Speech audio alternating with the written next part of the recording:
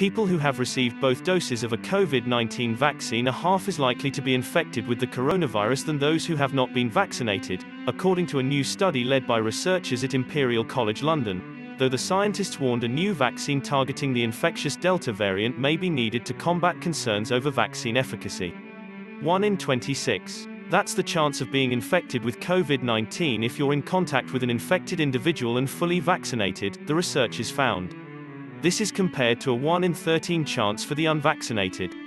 Unvaccinated young people and the infectious Delta variant are driving the new wave of cases in the UK, the researchers said, a trend that is mirrored in the US. High vaccination rates in the country have helped contribute towards a possible decoupling between infection, severe illness and death, which prompted the government to drop almost all social restrictions on July 19 amid some of the highest infection rates in the world.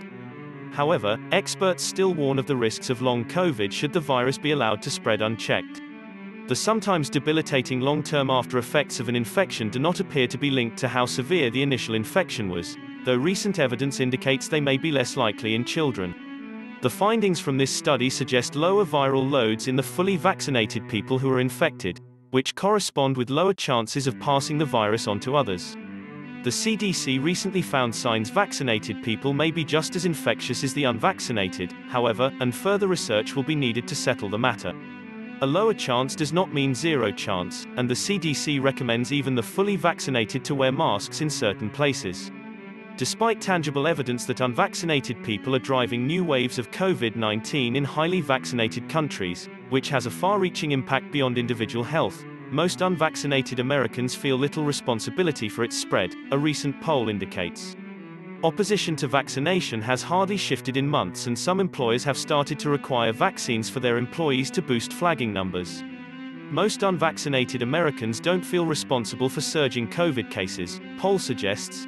Here's who they blame, Forbes, Pfizer shot just 39% effective against Delta infection, but largely prevents severe illness, Israel study suggests, Forbes, Johnson & Johnson vaccine far less effective against Delta variant.